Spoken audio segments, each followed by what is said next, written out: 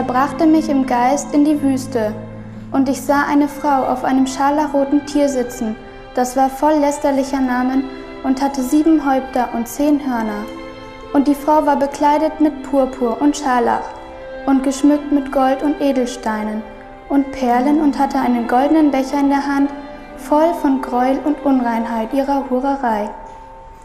Und auf ihrer Stirn war geschrieben ein Name, ein Geheimnis, das große Babylon, die Mutter der Hurerei und alle Gräuel auf Erden. Wer ist das Geheimnis hinter den Geheimorganisationen? Wer steuert diese Dinge auf diese Welt? Die Bibel redet von einer Macht, von der wir gerade gehört haben, die hinter den Kulissen alles steuert und die Welt so weit bringt, dass sie ihr dient. Und das ist, was die Bibel sagt. Und es ist schwer, es nur anhand der Bibel zu beweisen. Man muss es glauben, wenn man es da liest, weil die Bibel sagt es. Aber es gibt viele Beweise ringsherum, dass die Bibel recht hat.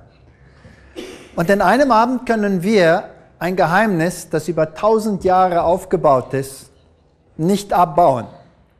Also das wird jetzt über eine Zeit kommen und ihr werdet noch viele Fragen haben nach dem heutigen Abend und morgen werden die Fragen noch weniger, hoffentlich, und danach noch weniger und noch weniger und noch weniger, denn es kommen elf Vorträge über ein Thema, das man sich nicht vorstellen kann, dass so etwas wahr sein kann. Aber die Bibel hat gesagt, dass es so ist, dass es so sein wird, kommen wird und ich glaube, die Bibel hat recht. Den Text in Offenbarung 17 haben wir ja gelesen. Diese Frau mit Purpur und Schalet, mit Rot, mit Gold und Steinen und Perlen und einen goldenen Kelch in der Hand. Und dieser Kelch ist voller falschen Lehren und Abtrünnigkeit Gott gegenüber. So eine Frau haben wir gesehen im Baal-Tempel. Neulich Abend habe ich das Dia gezeigt. In diesem Tempel gibt es eine Abbildung von so einer Frau in Mosaik. Es gibt nur eine Kirchengemeinschaft in der ganzen Welt, die sich dieses Bild zueignet und sogar auf ihren Münzen druckt. Und das ist das römisch-katholische System. Hier ist eine Münze, unten dran steht Fides, City del Vaticano. Und da ist eine Frau und sie hat einen Kelch in der Hand und aus dem Kelch kommt eine Sonne hervor. Es ist ein Sonnenkultus. Der kommt von eher her von Babylon. Jetzt, was heißt dieses Fides? Es wird gesagt, dass das für Glaube steht. Aber Fides heißt in der okkulten Welt was ganz anderes.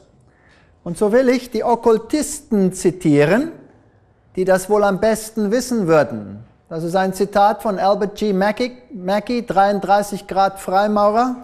Ganz wichtige Persönlichkeit in der Freimaurerei. Die rechte Hand in allen Zeiten hat das Emblem der Fidelity. Fides. Und dann sagt er, das ist eine, dass man da anbetet, eine Gottheit unter dem Namen Fides. Diese Gottheit, sagt er, wird auch verehrt durch einen Handdruck, einen ganz besonderen Handdruck. Den finden wir auch in der Freimaurerei. Zwei rechte Hände, die auf einer bestimmten Weise zusammengebracht werden. Fides, sagt er, wird auch angebetet als die Göttin der Oaths, der Schwöre. In diesen Geheimorganisationen muss man auch Geheimnis halten können und man muss dazu schwören. Wenn man die Geheimnisse bricht der geheimen Organisationen, dann meist ist dieser Schwur dann zutreffend. Und dieser Schwur ist oft sehr krass. Möge meine Zunge aus dem Hals rausgerissen werden, möge mein Hals zerschnitten werden von Ohr zu Ohr, wenn ich die Geheimnisse dieser Organisation weitergebe. Also er sagt, das ist die Göttin, Göttin dieser Schwörerei. Also es ist eine, ein Götzendienst. Fides in dem Okkulten steht für einen bestimmten Götzendienst. Offenbarung sagt, sie ist die Mutter der Huren, dieses Weib. Sie sagt, sie sitzt als Königin Und sie sagt, da ist keine wie sie. Sie wird nie Witwe sein. Und sie wird nicht ihre Kinder verlieren. In dem päpstlichen äh, Encyclicus Dominus Iesus sagt die katholische Kirche, andere Kirchen sind keine Schwestern von uns, sagt der Vatikan. Das stand im The Independent, September 5, 2000. Wie gesagt, heute Abend sage ich nichts mehr. Ich sage nichts. Alles, was ich bringe, wird ein Zitat sein. Alles. Kardinal Ratzinger hat gesagt, es muss ganz klipp und klar sein, dass die eine heilige katholische und apostolische universale Kirche ist nicht die Schwester, aber die Mutter aller Kirchen. Rom sagt, sie ist das Zentrum.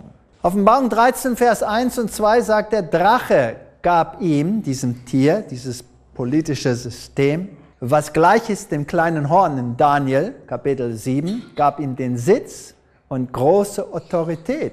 Also das ist eine luziferische Religion. Offenbarung 17 sagt, dass die zehn Hörner, die wir sahen, zehn Könige darstellen, die ihre Macht dem Tier geben werden. Und sie werden kämpfen gegen das Lamm. Jetzt das Lamm wird immer befochten anhand seiner Kinder, an, anhand Gottes Gemeinde. Gary H. Carr in seinem Buch On Route to Global Occupation, und Gary H. Carr ist nicht irgendeiner, hat ein System hier vorgestellt, wie das alles zusammenhängt, von der alten mystischen babylonischen Religion durch den Kabbalismus zum Gnostizismus, zu den Templern, Rosenkreuzlern, Freimaurerei, Illuminati. Und hierdurch wird beherrscht der Marxismus, die geheimen politischen Organisationen, die internationalen Banken und der Weltkirchenrat. Der Weltkirchenrat, alles unter diesem Schutz. Das hört sich alles so unmöglich an. Wie kann der Weltkirchenrat unter okkultem Schutz stehen?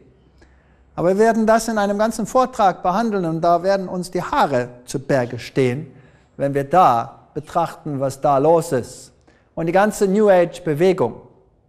Jetzt das eine Gruppe, die nicht hier genannt wird, und das sind die Jesuiten, die den Auftrag hatten von Rom, um die Reformation zu bekämpfen. Mit anderen Worten, das Wort Jesus Christi muss beiseite gelegt werden durch die Macht dieses Jesuitenorden, die diesen Auftrag bekam. Die Götzen, die damals in der damaligen Welt galten, 1. Chroniker 1626, Nimrod, Tammuz, Semiramus, die Dreieinigkeit der Heiden, aber diese Dreieinigkeit ist nicht Vater, Sohn, Heiliger Geist. Diese Dreieinigkeit ist Vater, Mutter, Kind. Und jetzt muss man etwas verstehen von Geheimorganisationen. Geheimorganisationen und Geheimreligionen haben zwei Lehren. Die eine ist für die Masse, die wird Goyim genannt. Goyim. Vieh hat äh, Marx sie genannt. Goyim. Und die bekommen eine Lehre. Die Eingeweihten bekommen eine andere Lehre. So zum Beispiel kann man nicht verstehen, warum die Kirche zum Beispiel bestimmte Lehren, ganz offensichtlich christliche Lehren, so verteidigt. Und an der anderen Seite solche unchristlichen Lehren praktiziert. Wie geht das Hand in Hand? Es ist interessant zum Beispiel, dass äh, die katholische Kirche für die Goyim eine Lehre hat, wo Christus Gott ist. Und das wurde sehr stark verteidigt, sogar mit Kriegen. Aber ihre eigene Vulgata kann gebraucht werden, um zu beweisen, dass Christus in diesem Buch nicht Gottes. Die Geheimlehre ist gegen Christus, die Goyim, allgemeine Lehre, ist für Christus. Aber die Eingeweihten wissen was anderes. Und wenn wir die alten äh, Zivilisationen betrachten, dann waren die Gottheiten, die Nimrod vorstellten, Baal und El und Belus und Ninus und Zeus und Jupiter und Ra und so weiter. Und äh, der heidnische Messias war Tammuz oder Bacchus oder Herkules, Dionysus, Athes, Osiris, Horus, Krishna, wie sie auch alle hießen. Und die Göttin war Ashtoreth, Astarte, Rea, Ishtar, Beltis und so weiter. Wir brauchen nicht dieses System weiterführen. Also ist das hier eine, ein Bild von Petrus oder ist es ein Bild Jupiters? Es kommt aus dem Jupiter-Tempel. Es ist ein Bild Jupiters. Es ist ein Götzendienst. Und der Fuß wird in den katholischen Kirchen geküsst, aber das hat nichts mit Petrus zu tun. Wie sitzen die Geheimorganisationen zusammen? Ich habe es ein bisschen anders zusammengefasst als Gary H. Carr von allem dem, was ich so studiert habe. In der Mitte ist immer noch Babylon. Und alle Religionen führen zurück zu dem Okkultismus, der zusammengefasst wird in der Kabbalah. Und in dem Kabbalismus wird gelehrt, dass Luzifer der wahre Sohn Gottes ist. Das sind zwei Söhne Gottes. Der eine ist Adonai, der andere ist Luzifer. Luzifer ist der erste Sohn. Er hat diese Erde geschaffen, nachdem er seinen Stand im Himmel verloren hat. Er ist der Schöpfer der Welt. Er ist der allmächtige Architekt der Welt. Und der andere, Jesus Christus, ist ein zweiter Bruder, der nicht viel taucht und der wird versatant. Und Luzifer, Luzifer, der Lichtträger, ist der wahre Gott. Aber darüber mehr später, um äh, das zu beweisen. Das ist eigentlich, was der Kabbalismus lehrt.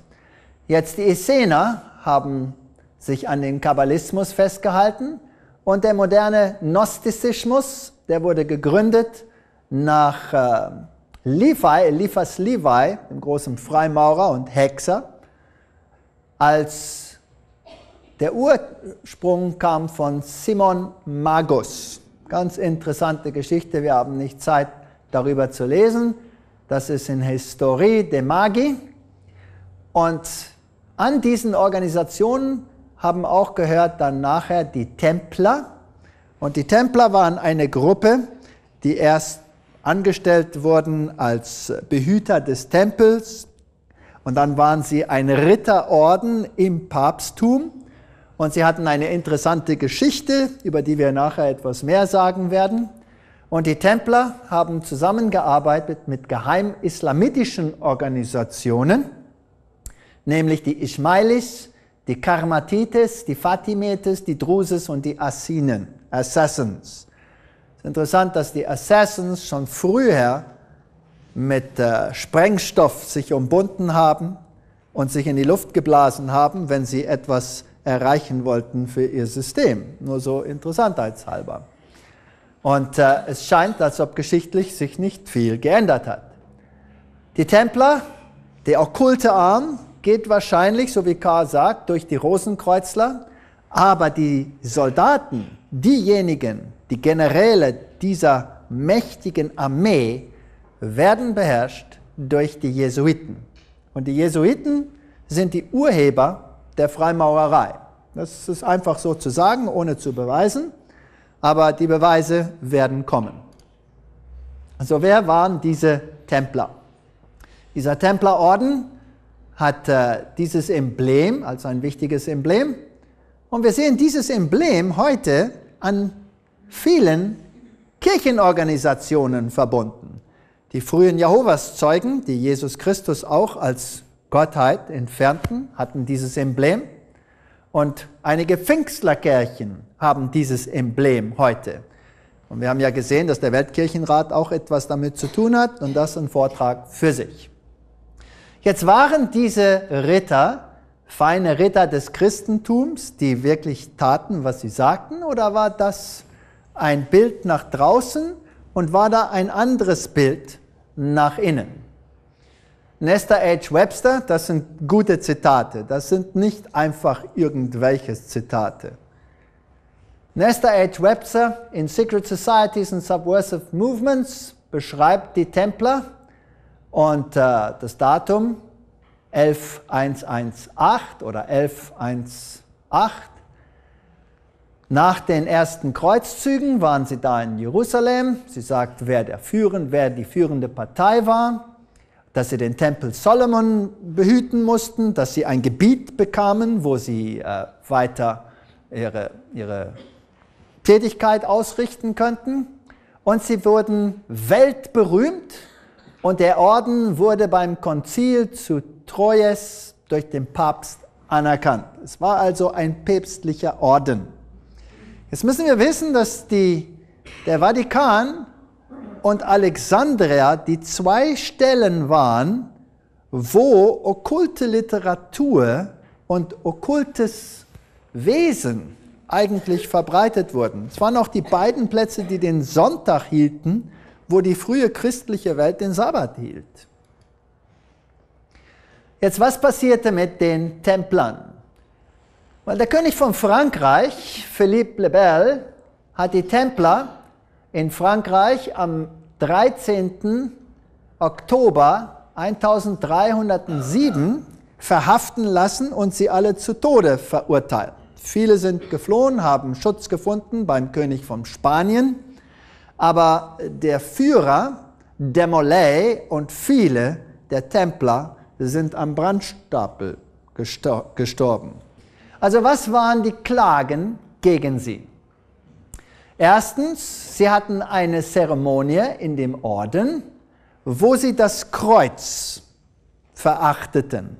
Es wurde auf dem Kreuz rumgetrampelt, auf das Kreuz wurde gespuckt und Sie beteten ein Idol an, nämlich Baphomet, der androgenische männlich-weibliche Gott. Dann hatten sie äh, Veränderungen an der Messe, eine Art Schwarzmesse, und äh, sie hatten Vollmacht, um Menschen äh, einzuweihen und Menschen zu vergeben. Und dann hatten sie unnatural weiß. Naja, was heißt das? Sie gehörten zu der Gruppe, die in der Bibel auch beschrieben wird als die Perversen. Zur Zeit des König Ahabs gab es auch Perverse. Jezebel in ihrer Zeit hat sie geduldet. Und die Bibel hat immer gesagt, dass diese Perversen müssen vernichtet werden. Das waren Sodomisten. Und dieses sodomistische Ritual war Teil dieser quasi Religion. Sie waren Luziferier in Wahrheit, aber das Außenkleid, das sie hatten, war christlich und darum hat er sie zu Tode verurteilt. Sie wurden dann alle schuldig befunden, einige haben es bekannt, andere nicht. Und die Geschichte ist, ist es so oder ist es nicht so? Eingeweihte hohe Freimaurer behaupten, dass sie wohl Baphomet angebetet haben. Also den Bock, der männlich und weiblich ist. Und heute noch ist da im äh, Freimaurer-Ritual eine Verweisung zu den Templern. Hier ist das Zitat von was gesagt wird in diesem Ritual. Einige Ritter, die zu dem Palästina gingen, äh, sind zusammengebunden unter dem Namen Freimaurer und ihr Ziel war die Wiederaufbauung des Tempels von Salomo. Sie holen sich ihr Ritual natürlich aus, auch von Salomo, die Freimaurer und die Templer hatten etwas zu tun mit äh, Jerusalem und dem Tempel. Es ist möglich, dass dieses ganze Theater mit Israel und dem Tempel gar nicht so viel mit Religion zu tun hat, eher als mit dem Okkultismus. Darüber später. Kommen wir gehen mal nach Jerusalem. Hier steht ein gewaltiges Gebäude, da staunt man über die Größe. Und das heißt Notre Dame und das ist der Sitz des Papstes in Jerusalem. Es ist ein Gebäude, so großartig wie der Vatikan. Man kann da hingehen, kannst nur nicht reingehen. Da fliegt die Vatikan-Flagge. Wer hat das schon mal gesehen? Wer war schon mal da? Naja, ich habe es gesucht und ich habe es gefunden. Und wenn man es gefunden hat, na, dann staunt man. Riesig groß. Pontifikale Mission in dieser Umgebung. Und nicht zu weit davon ist die, der Palast des lateinischen Patriarches, der Ritter. Ja, interessant. Da ist das Ordenszeichen des Ritters. Dieses Schild wird heute natürlich viel gebraucht durch äh, Pfingstlerkirchen als das Schild des Glaubens. Also ein interessanter Hinweis. Da sind äh, einige Mitglieder dieses Ritterordens. Hier knien sie nieder. Sie werden zum Ritter geschlagen und natürlich hoch angestellte Leute, Politiker, Bankiere und so weiter äh, werden hier eingeweiht. Da ist ihr Kreuz. Das ist so ein quasi Baphomet-Kreuz in der Kirche. Natürlich erwarten wir dieses Bild von dem angeblichen Petrus, der eigentlich der Jupiter ist. Der Fuß ist schön blank geküsst. Ich habe äh, keine Lust gehabt, den zu küssen, also stehe ich nur daneben. Und äh, ein wichtiger Platz. Und wir sehen, dass beide Päpste äh, hier einen Besuch abgelegt haben. Papst Paulus und Papst Johannes Paulus. Beide waren da bei diesem Knights Palace, Ritterpalast. Na, ich war interessiert, was die Symbole da so sind. Hier ist der Hauptaltar in dieser Ritterkirche und man braucht nicht weit suchen. Und dann sieht man etwas Interessantes auf dem Altar. Was ist denn das? Das ist der doppelköpfige Adler, der auch gebraucht wird natürlich durch die Freimaurer als das Zeichen des 32. Grades und darüber mehr in dem Vortrag morgen Abend. Wir haben auch das okkulte Sonnensystem da auf dem Altar. Und jetzt bringt das mich zu dem Jesuitenorden. Gegründet 1534 durch Ignatius Loyola und äh, in 1540 durch den Papst anerkannt als die Armee gegen die Reformation. Und Loyola wollte katholische Einheit haben und absolute Untertänigkeit dem Papst gegenüber. Hier ist das Bild. Der Ordensgründer Ignatius von Loyola erhält am 27. September 1540 vom Papst Paul III. die Bestätigung der Gesellschaft Jesu. Ein schöner Name. Aber ist das wirklich Jesus Christus oder ist das ein anderer Jesus? Das müssen wir natürlich feststellen. Jetzt, wie hat er sich präsentiert? Hier ist das Zitat Occult Theocracy. Da ist eine Analogie zwischen Freimaurer und jesuitischen Graden, Rang. Die Jesuiten trampeln auch auf die Haxe Schuh, des Schuhes so und machen das Knie äh, offen, so wie da, weil Ignatius Loyola sich so in Rom vom Papst präsentiert hat, als sein Orden bestätigt wurde. Also das Freimaurerritual, das heute existiert, ist genau das gleiche als das Ignatius Loyola Ritual, das damals ausgeübt wurde. Und die Freimaurer kommen mehr als 200 Jahre später als die Jesuiten. Also wer ist der Urheber der Freimaurerei?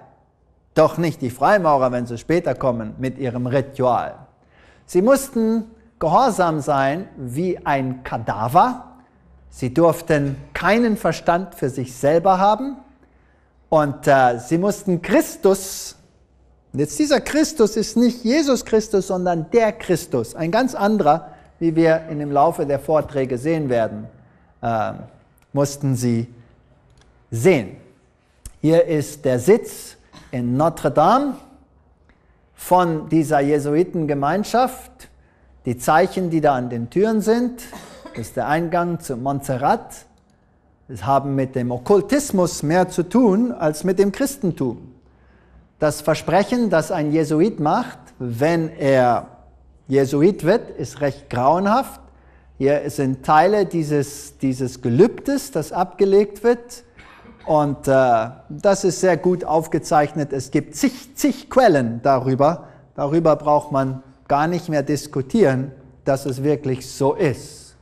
In diesem Gelübnis sagt ein Jesuit, dass er sich dem Papsttum vollkommen unterwirft und dass er die Macht hat, um alle heretische Könige, Prinze, Commonwealths, Regierungen, alle abzuschaffen, denn sie sind illegal, ungültig und äh, können vernichtet werden, wenn sie dem Papst nicht untertan sein. Also alle Regierungen der Welt müssen dem Papst untertan sein. Dann versprechen sie, dass sie irgendeine heretische Religion annehmen werden. Sie werden die besten Lutheraner sein, mit anderen Worten, die besten Methodisten, die besten Islamiten, die besten Hindus, die besten Buddhisten, die besten Adventisten, die besten was auch immer. Versprechen sie zu werden. Und sie werden im Geheim alle ihre Aufträge ausüben.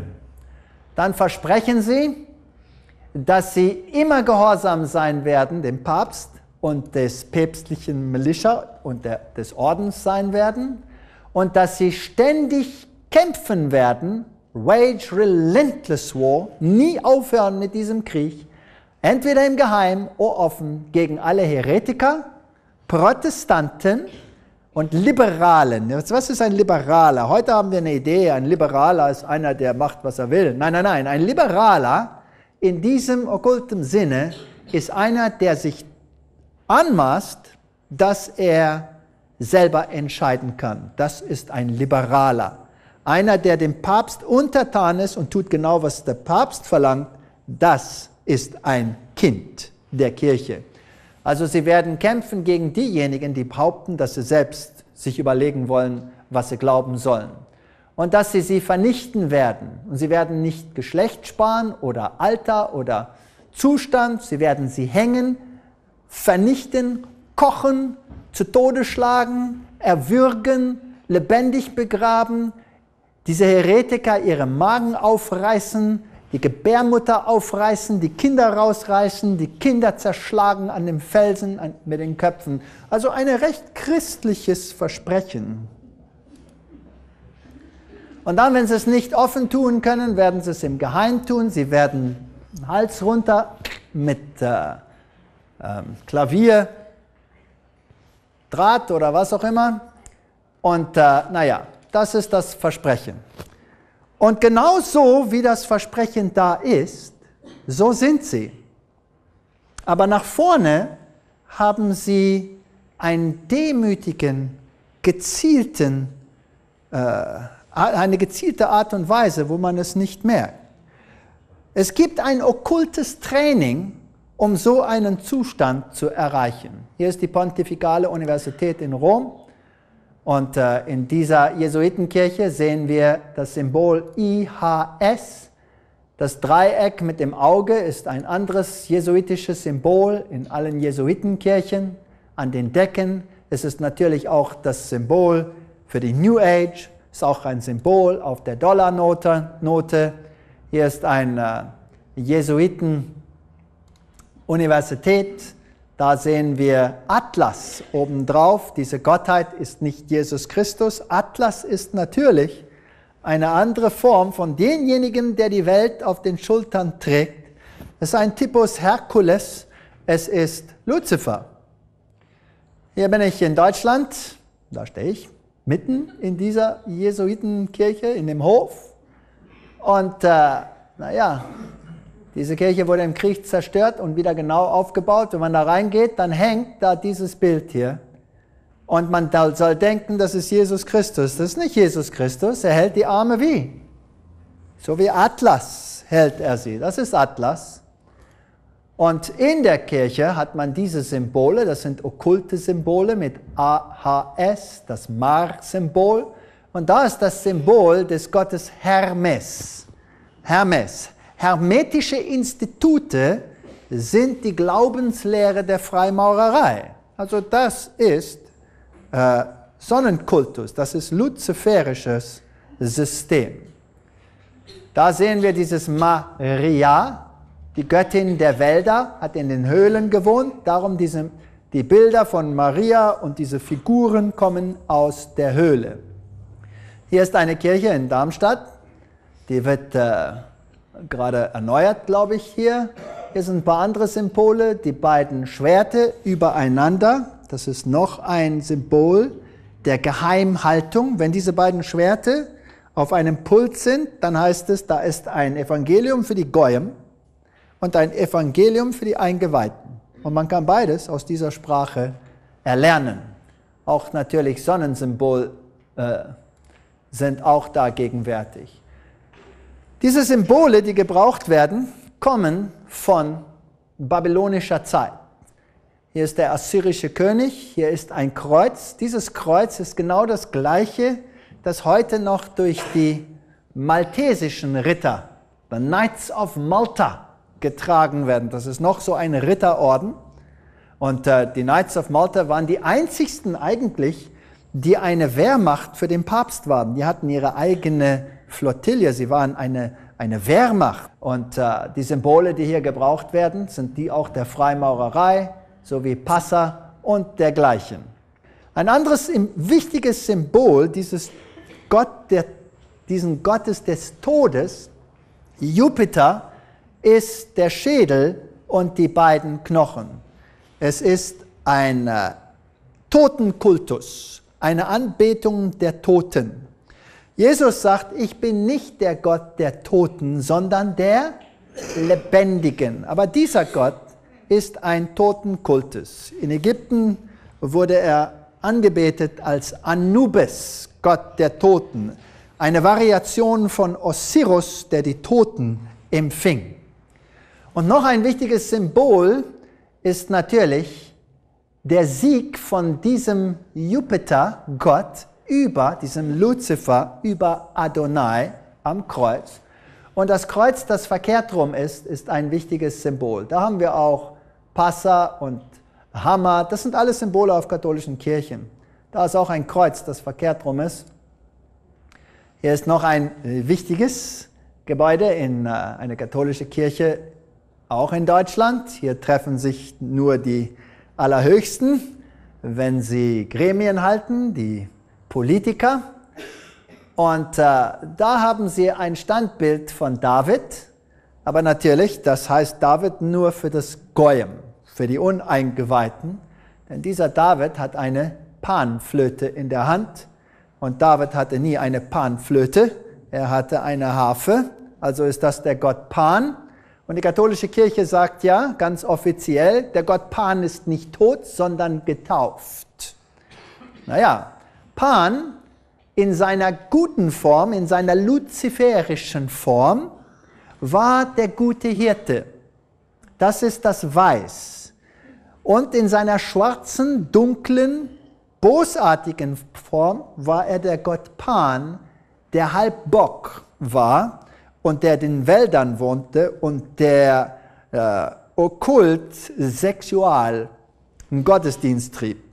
Die Frauen hatten immer wahnsinnig Angst vor ihm und daher das Wort Panik. Naja, ich habe dann gesucht, wenn der, wenn der Gute da ist, so wie sie immer den Janus mit zwei Köpfen zeigen, werden sie den wohl auch zeigen. Da ist er, in der gleichen Kirche, schön gegenwärtig. Pan in seiner dunklen Form, Pan in seiner äh, luziferischen Form. In der gleichen Kirche natürlich auch der Gott Anubis, wie man dann auch erwarten würde, weil das ist der Gott der Toten. Und hier Jupiter in der Form des Totenschädels. Diese Symbole sind wichtig, wenn wir werden sie gleich sehen bei den Geheimorganisationen. Da oben war auch äh, der Phönix, der hervorkam. Eine kleine Kapelle gibt es da und an der Tür dieser katholischen Kirche alles außer katholischen Symbole, das sind die Zeichen des Zodiacs. Das sind äh, okkulte Zeichen und der Türknopf hat Yin und Yang, weiß und schwarz, gut und böse. Diese Gottheit ist beides. Es macht nichts. Wenn man diese Gottheit anbetet in der luziferischen lichten Form oder ob man diese Gottheit anbetet in ihrer satanischen Form. Also finden wir, dass viele Rockstars mit all ihrem Ding rumrum zur Satanskirche gehören, Aber sie sind beste Freunde und werden eingeladen zu den Hochangestellten dieser Welt, die mit Kragen und Anzug zu einer anderen Seite dieser selben Gottheit gehören. Naja, das kann man leicht sagen. Hier ist ein äh, Symbol in einer katholischen Kirche in England. Das ist der Kompass, Hammer, Zickel, Kompass, alle diese Symbole. Äh, wenn wir ein Lamm sehen, das kann das Lamm Gottes sein, aber nicht, wenn es zusammen ist mit einem PX und mit einem Peacock. Was ist das wieder? Ein Pfau, ja. Und der Fisch, der für Dagon steht und der rote Kreis in der Mitte, das ist der Sonnenkultus. Dieser Gott Jupiter war auch das Lamm. So, man kann verführt werden durch diese Symbole. Weitere Symbole in dieser Kirche ist der Phönix, der aus der Asche hervorkommt.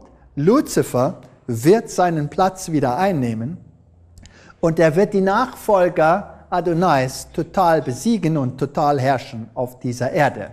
Das ist der okkulte Plan. Der Pfau ist ein Symbol Luzifers im Okkulten. Hier in dieser katholischen Kirche natürlich das große PX mit dem Kreis und dem Punkt drin. Naja, das wird äh, erklärt als ein christliches Zeichen und die Protestanten haben es so geliebt, dass es an meisten Pulten hängt. Habt ihr das schon mal gemerkt? Ja, das kann man da sehen. Auch der Tannenzapfen natürlich ein okkultes System. Jetzt, ich will euch nicht sagen, was das heißt. Soll die okkulte Welt es euch selber sagen, was das heißt. Was heißt dieser Kreis mit dem Punkt drin? HBO hat das natürlich auch als ihr Symbol.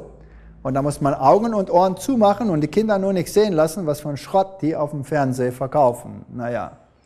Albert Mackey, ganz hoch, äh, hoher Freimaurer, 33 Grad Freimaurer, schreibt, der Punkt in diesem Kreis ist ein Symbol der Sonnenanbetung. Es ist die Anbetung des Phallus. Da ist das Zipzat direkt aus Freimaurermund. Ich sage nichts mehr, ich lese nur, was da steht.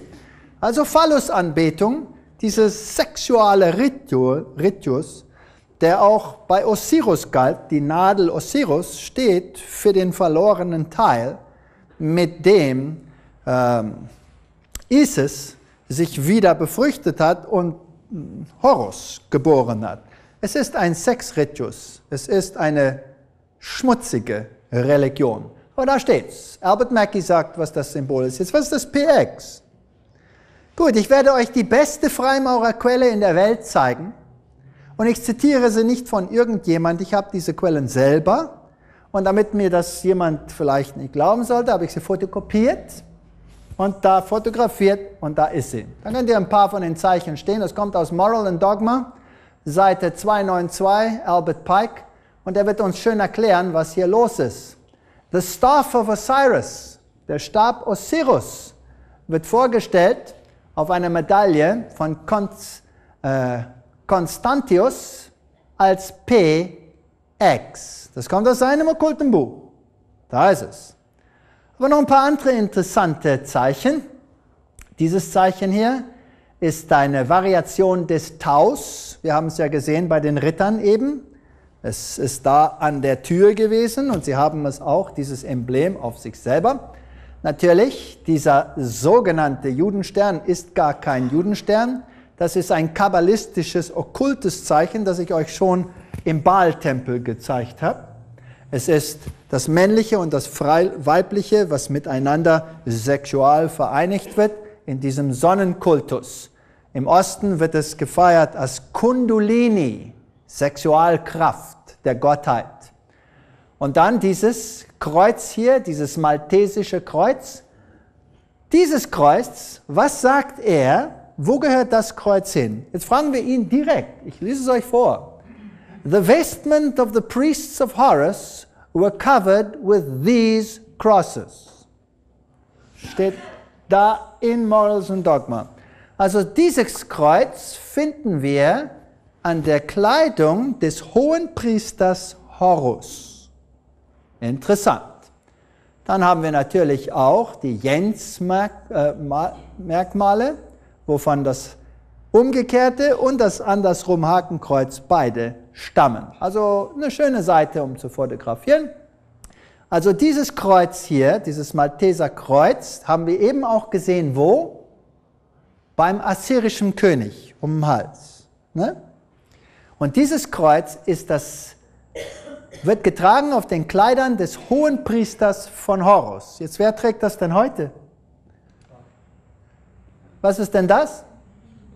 Da ist es. So, der hohe Priester Horus ist der Urheber oder der Träger dieses Kultus. Und das, was er nach vorne zeigt, ist für Goyim. Und was im Innenkreis passiert, ist was ganz anderes. Haben wir auch das Zeichen hier von einem Trickele auf dem Boden dieser katholischen Kirche, fragen wir wieder äh, eine okkulte Quelle. Hier sind alle Quellenangaben. Ich gehe die nicht alle vorlesen heute Abend, sonst dauert das zu lange. Aber sie sagen ganz eindeutig, das Trickele ist Yin Yang. Das ursprüngliche hatte nämlich die drei Formen. Und äh, es ist äh, Göttin der Weisheit Anbetung. Es ist Diana Anbetung. Heute in der modernen Form nenn es Maria. Aber Maria, sagt äh, Blavatsky uns, ist nichts anderes als die weibliche Form Luzifer. Es ist Luzifer-Anbetung. Hier ist noch ein Symbol bei dieser katholischen Kathedrale, ganz neue katholische Kathedrale. Das ist nicht erst eine alte, die steht nagelneu in London, könnt ihr euch betrachten. Auf dem Bogen das mystische Tau. Hier, äh, Ward, ein Freimaurer, was sagt er? Wofür steht das Tau? Es ist Phallusanbetung. Das ist Signalsprache für Phallusanbetung. Ein Zitat nach dem anderen. Was suchen diese Symbole auf dem Boden? Jetzt kommen wir zu dem Jesuitenorden, der den Auftrag hatte, um die ganze Welt diesem päpstlichen okkulten System untertan zu machen. Und wenn das wahr ist, dann muss dieser Orden hinter den Kulissen tätig sein um die ganze Welt zu vereinigen unter diesem Papst. Natürlich mit viel Opposition und ohne Krieg und ohne Gewalt und ohne viel Leid wird das nicht vor sich gehen. Hier die, ist die Liste all dieser äh, Generäle des Jesuitenorden, seitdem sie entstanden sind. Mehrere Male wurden die Jesuiten verbannt, auch aus den katholischen Ländern. Sogar Italien hat die Jesuiten verbannt für eine Weile. Russland hat sie rausgeschmissen, Frankreich hat sie rausgeschmissen, Österreich hat sie rausgeschmissen, Spanien hat sie rausgeschmissen. Katholische Länder hatten oft die Nase voll und haben sie rausgeschmissen. Naja, es hat nicht da aufgehört. Sie haben immer wieder ihren Platz zurückbekommen, oft mit der Vernichtung des ganzen Könighauses, eines ganzen Landes, eines ganzen Ordens, sogar katholische Orden, die sich dagegen gestellt haben. So in der katholischen Kirche selber gibt es einen Kampf. Ich glaube, es gibt viele, viele, viele gute Menschen in der römisch-katholischen Kirche und Gott ruft sie. Er will sie zu sich rufen. Der jetzige General heißt Peter Hans Kolvenbach. Da ist er. Ihr schaut wahrscheinlich den mächtigsten Mann der Welt an in diesem Augenblick.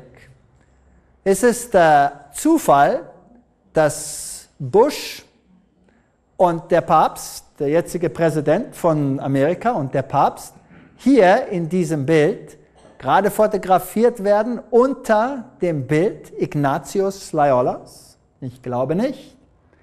Kommen wir lesen ein paar Zitate von diesem Jesuitenorden. Das kommt vom Library of Congress. Das ist ein, ein Staatszitat, mit anderen Worten, Katalognummer so und so. Noch ein Eid, das abgelegt wird durch einen eingeweihten Innen-Jesuit. Äh, Jetzt müsst ihr euch auch vorstellen, dass dieser Orden selbst hat auch verschiedene Stufen und nicht jeder Jesuit ist ein Innenkreis eingeweihter. Man kann nicht jeden Jesuiten einfach nur verurteilen. Aber wenn er in diesen Orden hinaufsteigt, dann kommt er zu diesem Punkt. Du musst den Samen des Hasses zerstreuen in Gemeinschaften und in Staaten und so weiter. Jetzt, wieso müssen sie Hass verbreiten in Staaten? Es steht hier, vor allem wenn dieser Staat stark ist, wenn dieser Staat Ruhe und Frieden hat, wenn dieser Staat günstig ist, wenn alle Arbeit haben, stifte Unruhe und mach Unordnung in diesem Staat. Vernichte die Gesellschaft. Nimm Seiten, wähle eine Seite und kämpfe im Geheim gegen und mit deinem Bruder, der vielleicht auf die andere Seite engagiert ist. Infiltriere beide Seiten und hetze auf von dieser Seite und hetze auf von der Seite. Jetzt könnt ihr sehen, wie das ein Doppelspiel ist. Aber äh, ihr seid vielleicht offen gegeneinander, öffentlich gegeneinander, aber am Ende wird die Kirche dadurch äh, gähnen. Sie wird äh, was gewinnen dadurch, genau.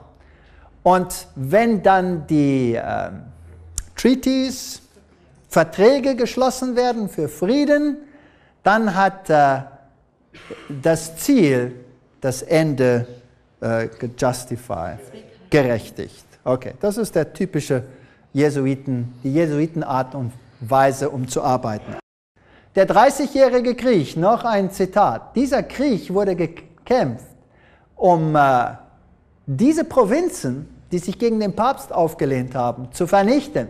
Und hier wird genannt Bohemia, Ungarn, Moravia, Silesia, äh, Österreich, diese müssten, mussten erstmal wieder untertan gemacht werden.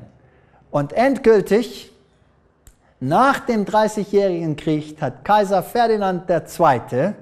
mit seinen Söhnen, seinen Freunden, den Söhnen Ignatius Loyolas, die Verträge geschlossen, die dem Papst zugunsten kamen. In 1550 Papst Julius hat erklärt, dass er allein universal der allerhöchste äh, Führer der Welt ist. Er ist der Leiter der Welt. Die Nation und das Königreich, das sich nicht unterstellt, wird vernichtet werden, wird verschwinden. Thomas Aquinas, wer war das? Das war der große Philosoph der katholischen Kirche. Er sagt, der Papst hat das göttliche Recht, um nicht nur der geistliche, sondern auch der temporale, der irdische Führer und höchster König der Welt zu sein. Also jetzt wisst ihr, worum es geht. Es geht darum, um päpstliche Macht über die ganze Welt zu verbreiten. Und noch ein Zitat, Romanism as World Power, der Papst in Rom als Oberhaupt des päpstlichen Staates eignet sich zu absolute Souveränität und Übermacht über alle Staaten der Welt.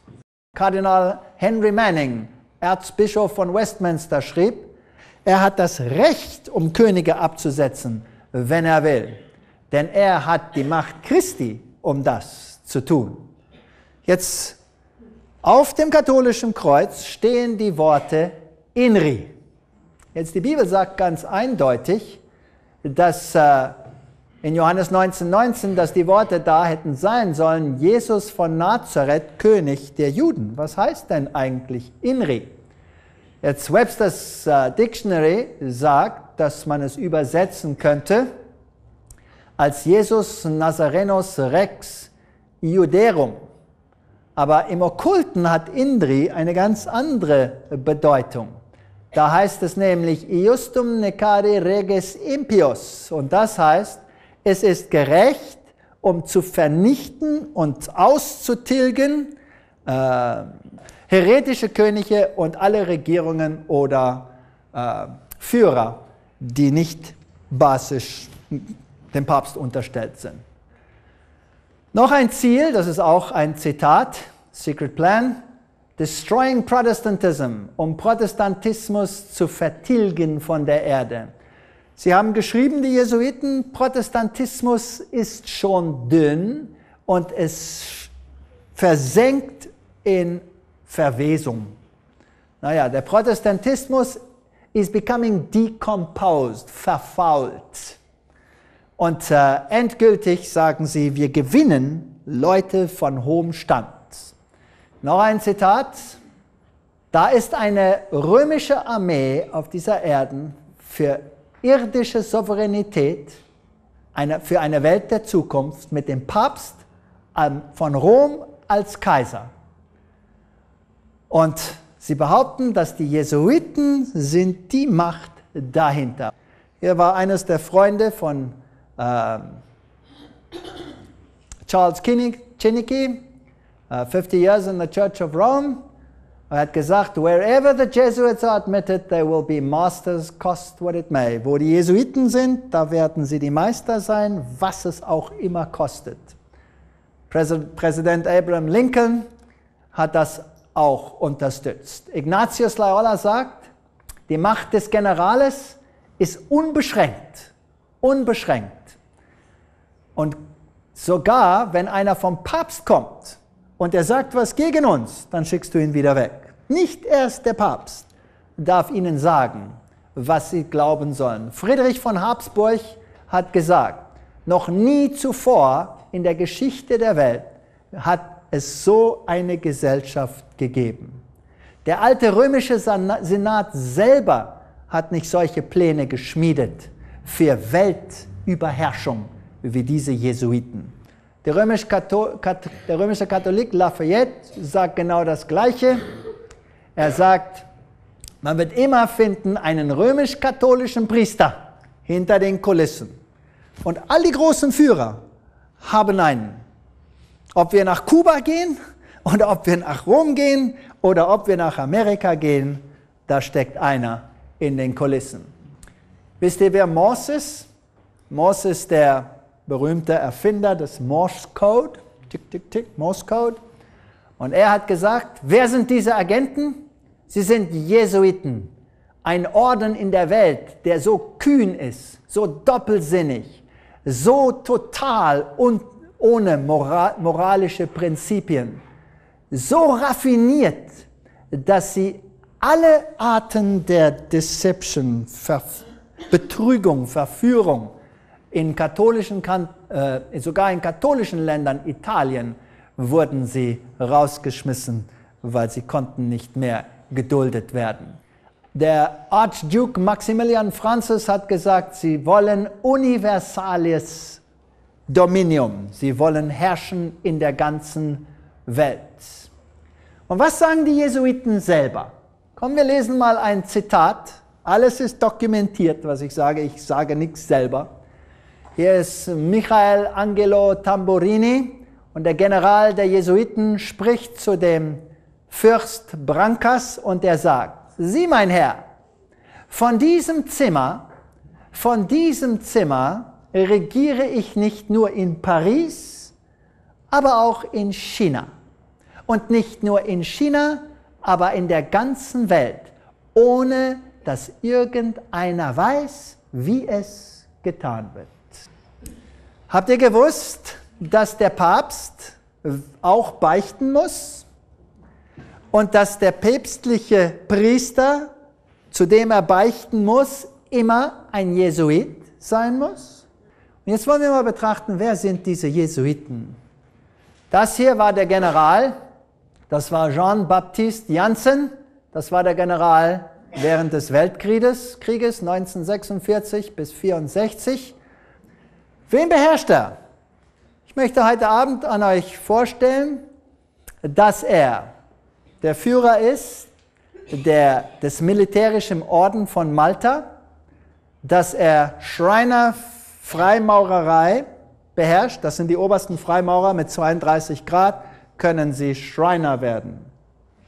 Dann Freimaurerei im Allgemeinen, den Orden der Illuminaten, König äh, der, der Knights of Columbus, die werden wir gleich betrachten, den Ku Klux Klan, Jetzt glaubt man, was, was haben die mit den Ku Klux Klan zu tun? Immer zwei Seiten. Wenn man Hass auftreiben will zwischen Rassen, dann macht man eine rassistische Gruppe, Ku Klux Klan, und man macht eine antirassistische Gruppe, und dann hat man das hegelische Prinzip von Hass und Neid und Mord und Totschlag und perfekt. Aus diesem Chaos kann nur eins hervorkommen. Eine rettende Hand, die Frieden macht und alle sind ihm untertan. Es ist ein schreckliches System. Kommt mal nach Südafrika und findet aus, wie es ist. Dann eine andere Organisation, die ihm unterstellt ist, ist die Nation Islam unter diesem, dieser Gruppe The Fruit of Islam, die Frucht von Islam. Die Mafia natürlich, Opus Dei und viele, viele andere Brüderschaften sind ihm unterstellt.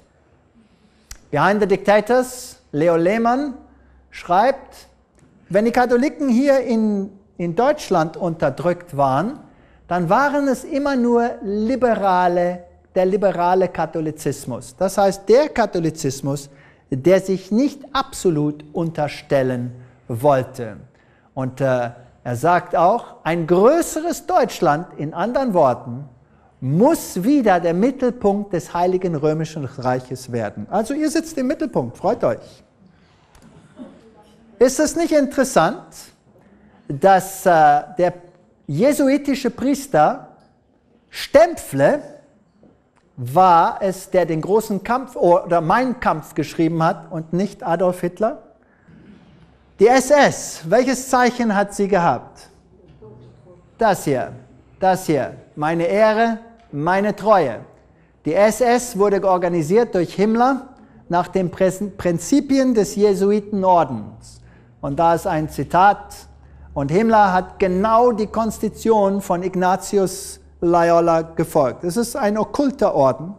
Es war die These, die Antithese war der Kommunismus, der Faschismus gegen den Kommunismus. Jetzt, welcher ist eigentlich das System, das Sie haben wollen?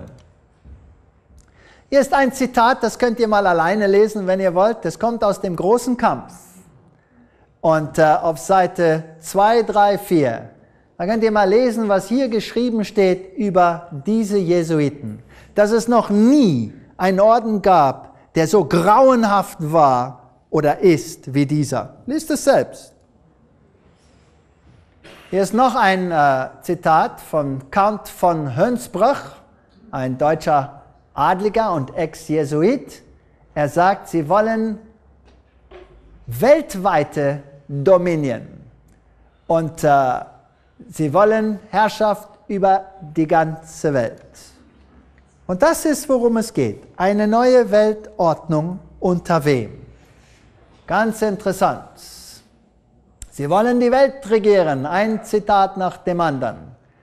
Also diese Ritter, die ihnen beistehen, um das zu erreichen, sind unter anderem, Dave Hunt nennt sie auch hier, er sagt die Jesuiten natürlich, the Knights of Columbus, die Ritter von Malta, Knights of Malta, Opus Dei und andere. Also wollen wir ein bisschen näher hinter die Kulissen gucken und uns diese Gruppen mal betrachten. Jetzt wisst ihr, wer zusammenhört, gehört. Jetzt wollen wir gucken, wer dazugehört. Das wäre doch interessant. Freimaurerei. Hier ist ein Zitat, The Grand Design Exposed. Die Wahrheit ist, dass die Jesuiten von Rom Freimaurerei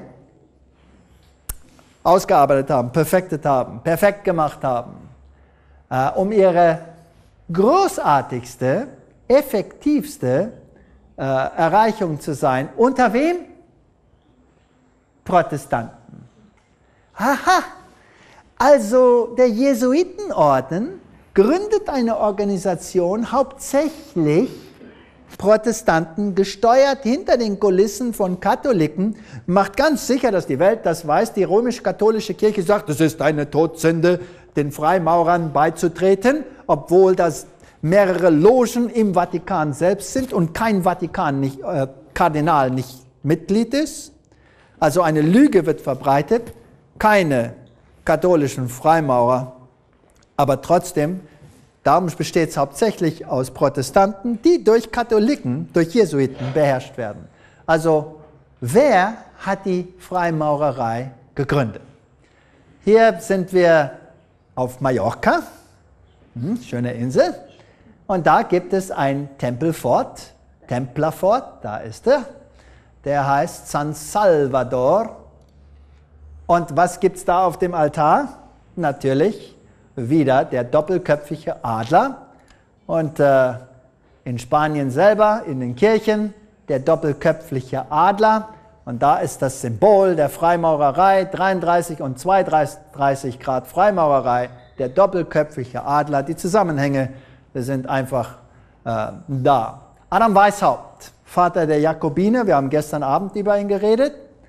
Äh, er ist Jesuit-Doktor von kanonitischem Gesetz bei Ingolstadt und er ist der Gründer der Illuminiert, äh, Illuminati. Occult Theocracy sagt, Adam Weishaupt hat eine wichtige Rolle gespielt in äh, der Gründung dieser Organisation. Hier sind zwei Jesuitengeneräle, nämlich der hier und der hier.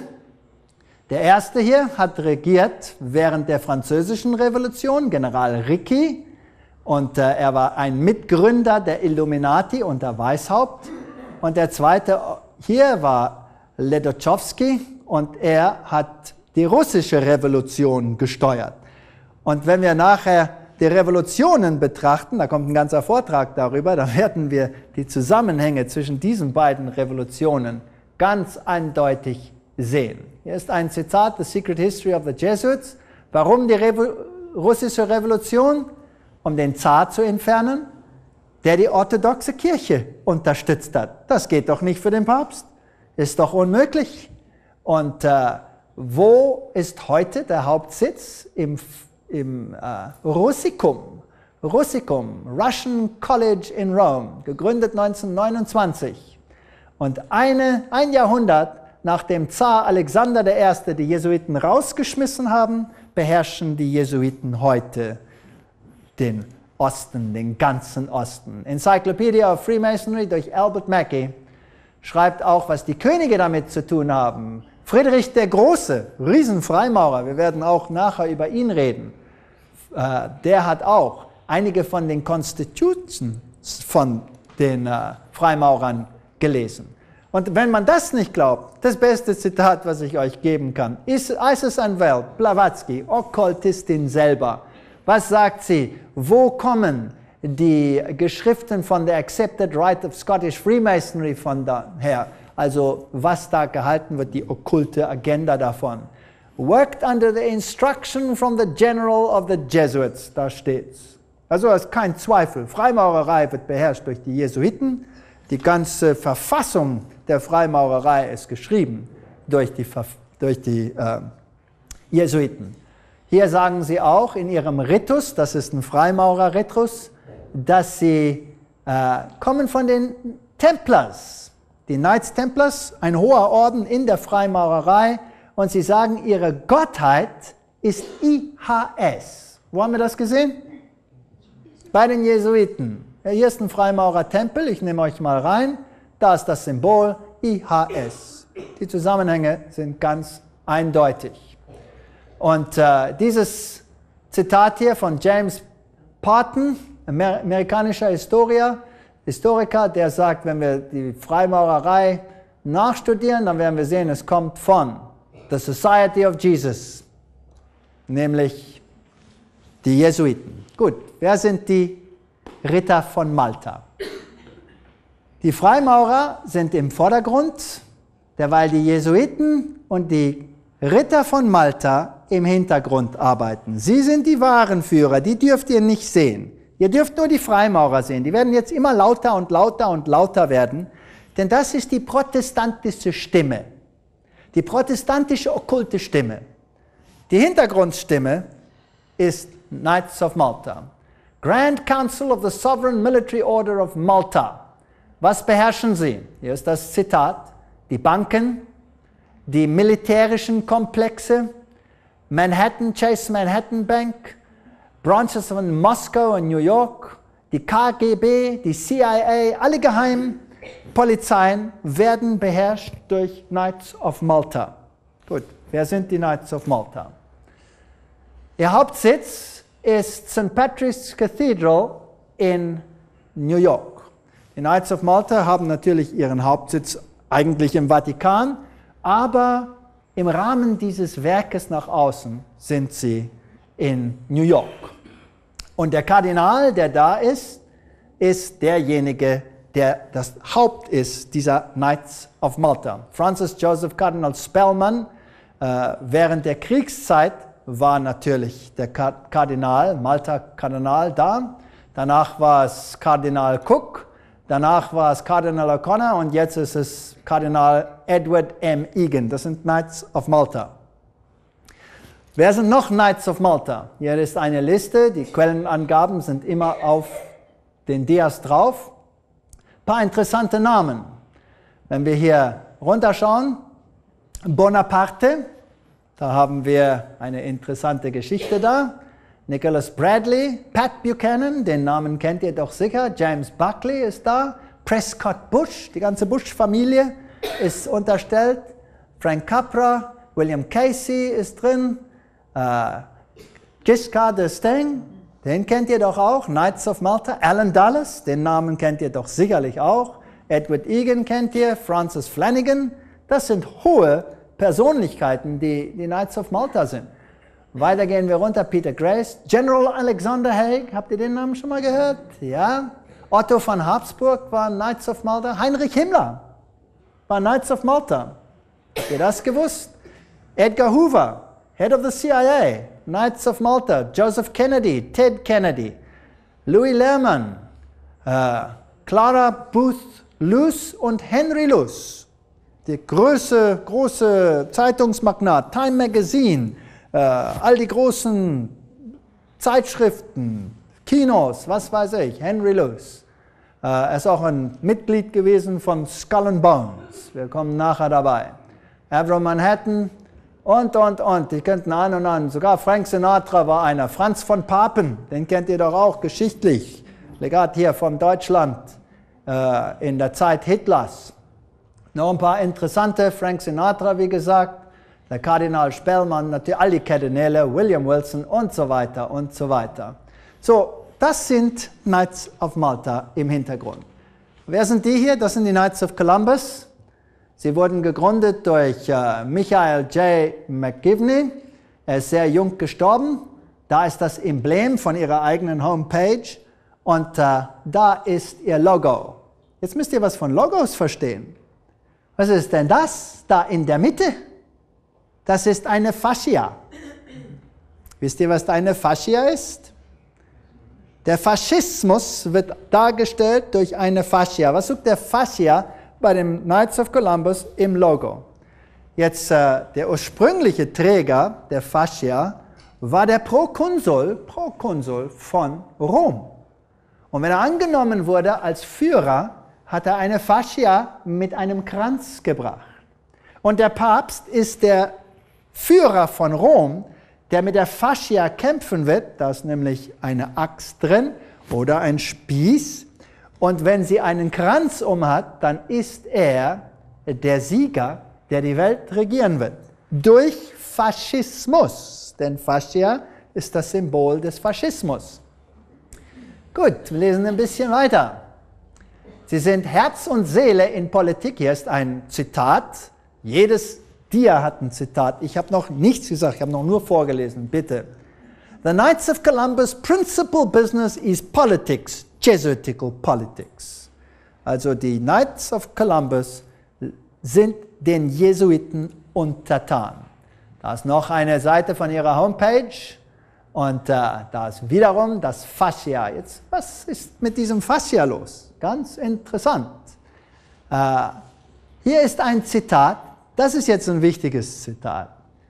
Das sagt uns, dass die Jesuiten in ihrer eigenen jesuitischen Zeitschrift, nämlich Civil, Civilta Catholica, schreiben, zitiere, Faschismus ist das Regime, das am meisten übereinstimmt mit den Konzepten der römisch-katholischen Kirche. Jetzt gibt es zwei Lehren. Goyim-Lehre und Innenlehre. Goyim für uns, wir, das Vieh, das Gewehrfutter, Kanonenfutter. Wenn wir zu frech werden, dann sind wir Faschisten. Das ist ein Schimpfwort. Nach außen, aber nach innen ist es eine Lehre. Opus Dei, wir werden noch mehr sehen über diesen Faschismus. Ich nenne es nur heute Abend. Opus Dei, wer sind die? Jose Maria Escriva, er ist jetzt ein Heiliger, hat sie gegründet. Hier ist ein Zitat, Opus Dei, eine geheime Organisation, die alles tun wird, äh, um Corporate Wealth, mit anderen Worten, den Geldmarkt zu beherrschen und unterstellig zu machen an den Prinzipien des Papsttums. Skull and Bones, wer sind die? Da ist ihr Symbol. Ist es bekannt bei jetzt, bis jetzt? Dann ist da eine Nummer unten drunter, 322. Da wird viel geredet über die 322. Es kann eine Nummer sein einer früheren Loge. Es kann aber auch Genesis 3, Vers 22 darstellen. Jetzt ist der Mensch wie einer von uns. Das sind die eingeweihten Illuminierten. Da ist ihr Sitz bei Yale Universität.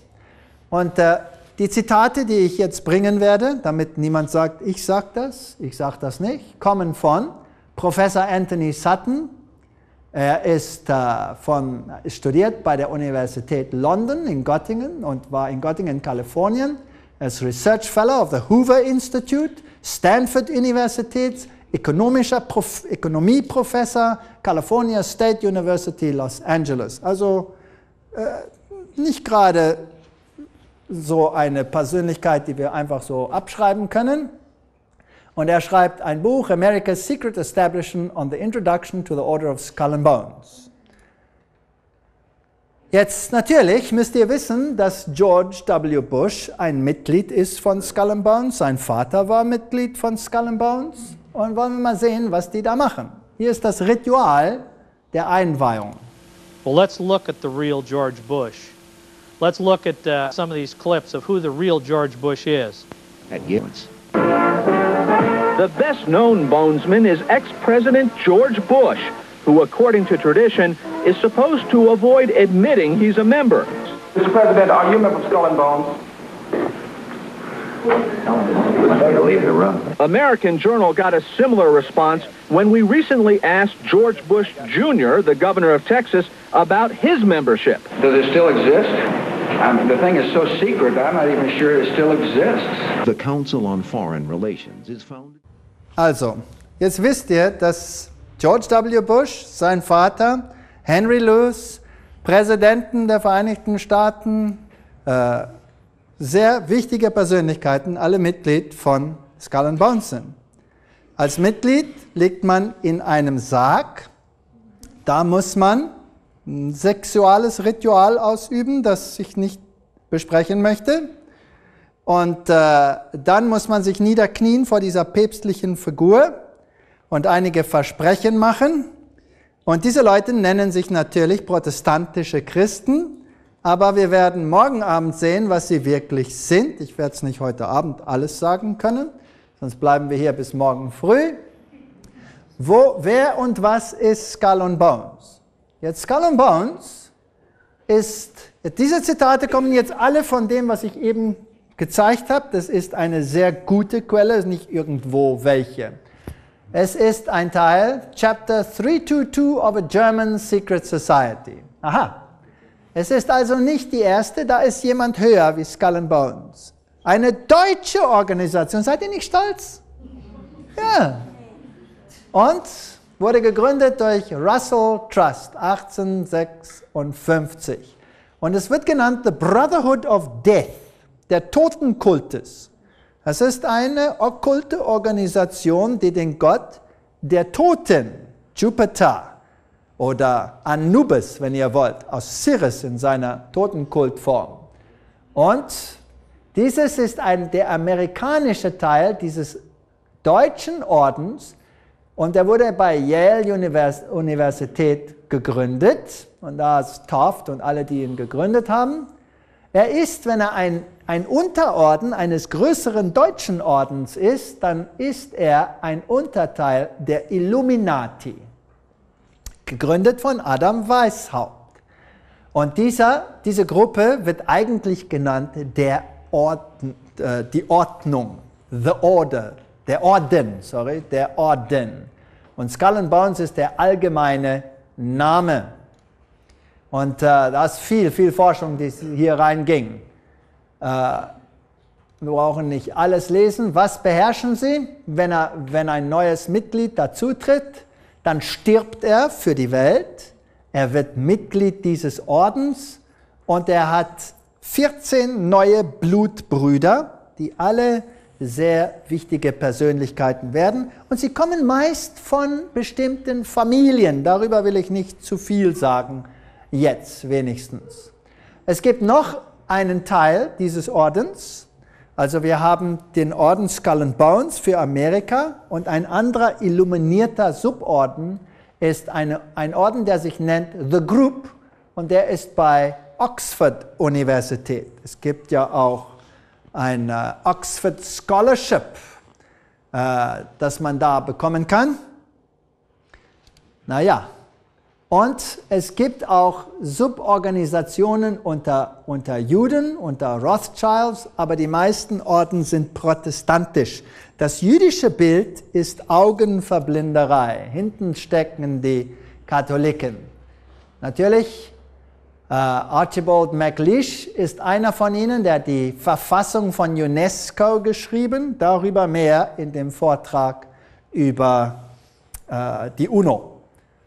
Die Kirche, viele Seminare werden beherrscht durch Skull and Bones. Union Theological Seminary wird da beherrscht und äh, darüber können wir mehr reden, was für eine Theologie da hervorspringt und was in den Kirchen gelehrt wird, um den Protestantismus zu vernichten.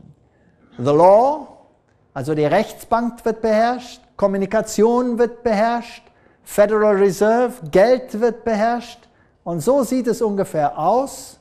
Im inneren Teil hat man den äh, inneren Teil, dann hat man hier Chapter 322, der Orden, und der hat hier wie ein Teil des Auges.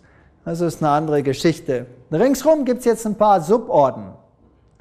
Der innere Kern, dann gibt es einen inneren Zirkel und äh, der besteht aus eingeweihten, hohen Persönlichkeiten und dann einen Außenkreis, der wird genannt unter anderem Bohemia, Bohemian Club, Atlantic Council, uh, Pilgrim Society, uh, Trilateral Commission, die Bilderberger und Council on Foreign Relations. Das ist der äußere Kreis, der beherrscht wird von innen. Ich möchte noch über einen reden und das ist dieses Bohemia, diese Bohemia-Gruppe. Also die totale Herrschung der Welt geht dann um einen inneren Kreis von Eingeweihten, die UNO, die Bilderberger, der Club von Rom, uh, Royal Institute of International Affairs, Trilateral Commission und Council on Foreign Relations ist der Außenkreis. Jetzt, wer ist dieser bohemische, diese bohemische Gruppe? Ihr wisst natürlich, dass die Bibel hat dieses Götzenanbeten in, der, in den Wäldern verboten. Könnt ihr euch entsinnen? Und was ist da passiert in diesen Wäldern? Da waren die Perversen. Und die haben Götzendienst da gemacht in den Wäldern, meist ohne Kleider.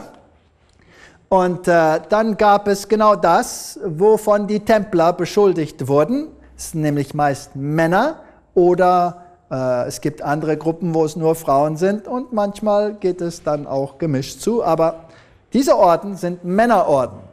Und dieser Bohemian Grove ist sehr interessant. Hier ist äh, ein Artikel von Newsweek Mag Magazine, The World's Most Prestigious Summer Camp, the Bohemian Grove.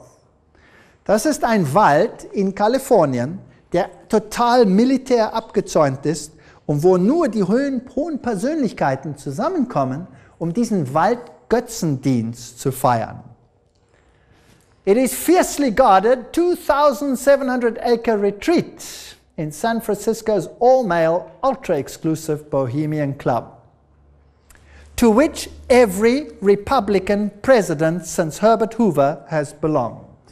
Also jeder republikanischer Präsident hat dazugehört, auch der jetzige und der vorige.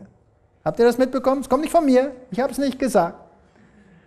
Jetzt, ich kann euch Zeitdurchausschnitten zeigen von Menschen, die dazugehört haben, die rausgekommen sind, die gesagt haben, naja, wir konnten es eigentlich nicht mehr mit unserem Gewissen vereinbaren, denn das ist Götzendienst. Sie beten eine Eule an, sie beugen sich vor der Natur und sagen, Beauty surrounds us, die Göttin die in der Natur umzingelt das. Eule, die du siehst im Dunkeln, gib uns Weisheit und sie müssen alle nackt sein. Und dann sind da wirklich gut dokumentierte äh, Aussagen über was da vor sich geht, wovon ich nicht reden gehe, denn da stehen euch die Haare zu Berge. Das ist genau so, wie es in der Bibel steht, unter den Perversen. Es hat einmal einem, einem äh, Zeitungsmann, es ist ihm gelungen, ein Video zu machen. Es ist ein sehr schlechtes Video. Und er ist irgendwie ist er da reingekommen und hat das mal fotografiert. Die Eule ist in seinem Blättertempel.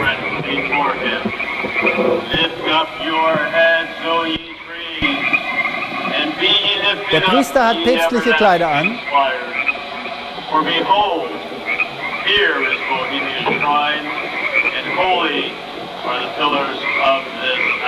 Also, da ist die Eule im Hintergrund.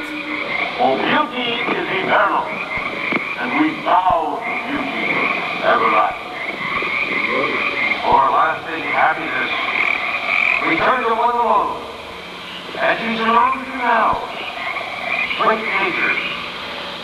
Große Natur, das ist Pantheismus.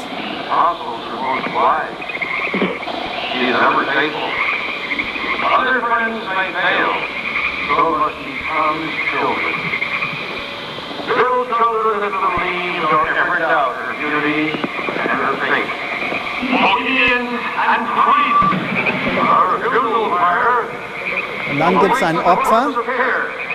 Äh, die Art dieser Opfer möchte ich nicht besprechen.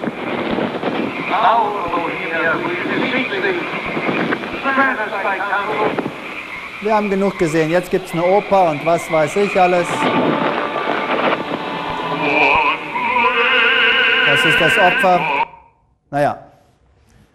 Und dann alle Mitglieder von all den Hohen, die da mit beteiligt sind, total nackt. Was dann passiert, das sage ich nicht. Gut. Jetzt, wer ist noch Mitglied? George P. Schulz, Stephen Batchel, Gerald R. Ford, Henry Kissinger, Buckley, Hartley, Griffin, Hayward, Kurz, Teller, Ronald Reagan, George Bush, William French Smith, Caspar Weinberger, Justin Dodd, William E. Simon und andere hunderte Politiker. Jetzt könnt ihr euch ja vorstellen, was das eigentlich heißt. Modus operandi des Ordens. Naja, darüber werde ich in einem anderen Vortrag mehr reden. Sie wollen eine ne-, neue Weltordnung haben. Und dann müssen Sie alles, was in den Schulen gelehrt wird, das Geld, das Gesetz, die Politik, die Ökonomie, die Geschichte, die Medizin, die Religion, das, die Media, alles müssen Sie beherrschen. Und sie sind nicht rechts und sie sind nicht links.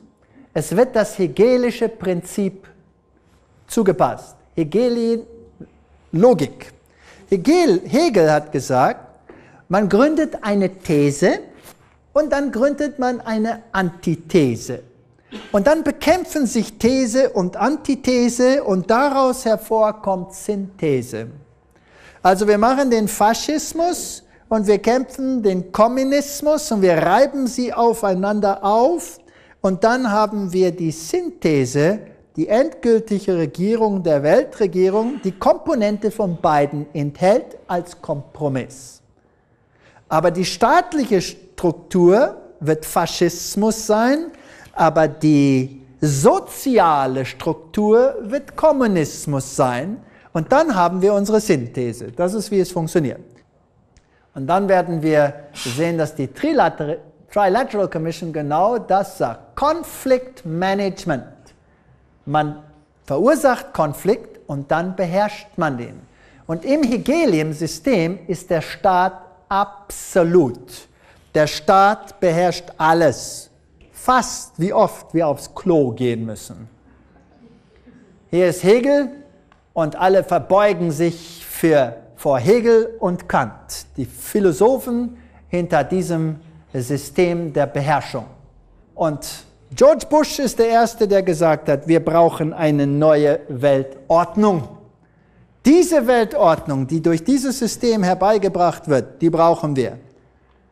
Und am Januar den 3. 2004 fragt der Oberpriester dieses Systems im Vatikan am 1. Januar für eine neue internationale Weltordnung. Die ganze Rede des Papstes am 1. Januar dieses Jahres 2004 ging um eine neue Weltordnung. Habt ihr das gewusst? Das ist alles, worum es ging. Noch nie hat ein Papst so eine Rede gehalten, dass er sagt, jetzt ist die Zeit. Was haben sie denn alles erreicht? Wow, 2004. Hier ist CNN. Der Papst fragt für eine neue Weltordnung, die gebaut ist auf Respekt und Verehrung des Menschen, Dignity of Man und Equality, Gleichheit unter Nationen. Ihr habt keine Idee, Deutschland, was es heißt, Gleichheit der Nationen, Nationen herbeizubringen. Das heißt, dass die Nationen, die total unten im Schlamm sitzen, hochkommen müssen und die, die da oben sitzen, müssen was? Ihr weißt, ihr wisst nicht, was auf euch wartet. Der Herr sei mit euch und behüte euch. Amen.